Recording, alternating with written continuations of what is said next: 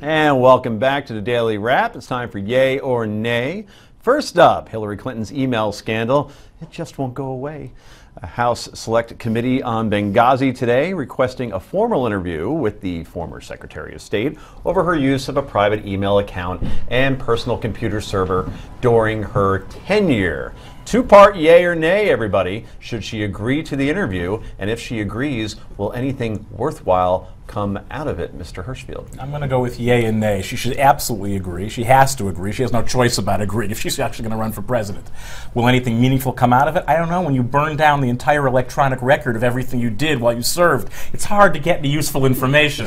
Heather? I think she's already agreed, and I think she's actually been smart. She said, I'll do it, but I want to do it in public because I don't want you spinning whatever we say in private and trying to use it against me. And I think that's smart, and I'm wondering if they're going to call her bluff. Will anything come of it? I don't know. Four, USA Today reported today four emails have already been produced that she gave to the, back to the State Department. Mm-hmm. And each one of those has a little something that's a little bit distasteful, nothing, no burning fires, nothing that's going to totally rock the boat. But I think that there's stuff there. Rick, you obviously think this will bring down the entire candidacy. Oh, clearly. it's all over for. I'm with Brad on this one, a yay and a nay. Yes, she'll do it, and I think apparently she's already said she'll do it, and nay, ain't nothing going to get to her on this. Mm, honestly, I have no yay or nay. What difference does it make? Our prayers have finally been answered. Well, most of us anyway. Mickey D's is going to try to sell breakfast menu items all day in some of its restaurants in San Diego beginning in April. Yep, studies have found that the most coveted items McDonald's sells are their fries and their breakfast items like hash browns and egg McMuffins and something called McGriddles. I obviously haven't been there for breakfast in a while.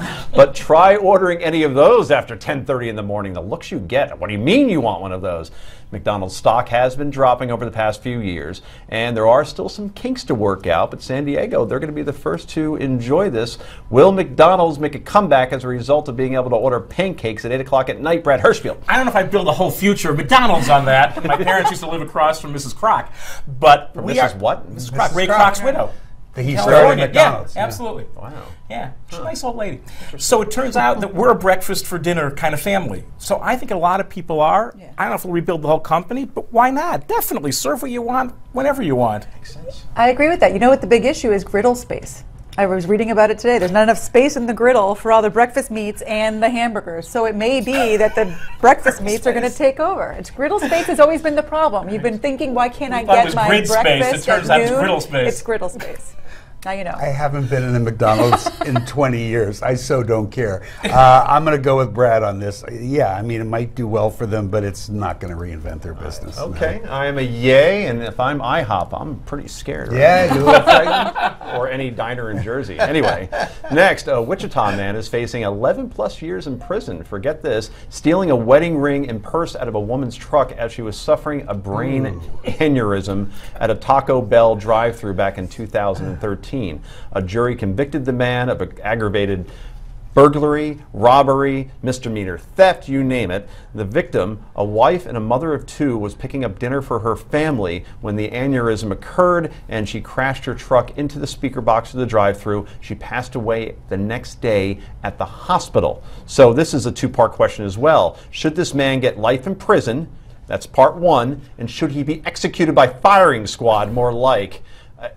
The- the woman is dying and you're taking off the wedding ring. I mean, I, I don't even know if this is a yay or nay, more like just a reason for me to get angry again. Yeah. I think anger is clearly look, it's grotesque, but I don't know that we should punish people because of how we feel about what they did. It really is about what the law is mm-hmm. and what the infraction was. Is it gross? Is it horrible? Yeah, it's disgusting and it's it's an incredible tragedy.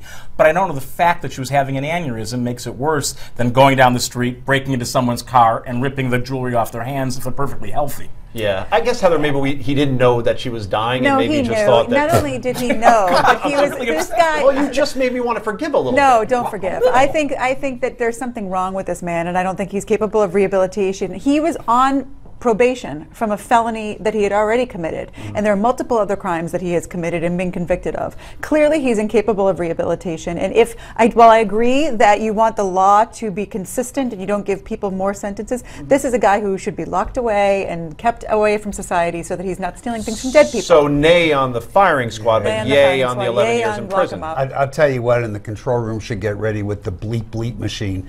Uh, what we have need, one of those? no. what we, He has what an we, what What we we need is a bleep need machine. is a new felony where you, you can be punished for being a stark raving bleep bleep, because that's what I mean. This is one sick Right. bleep bleep bleep.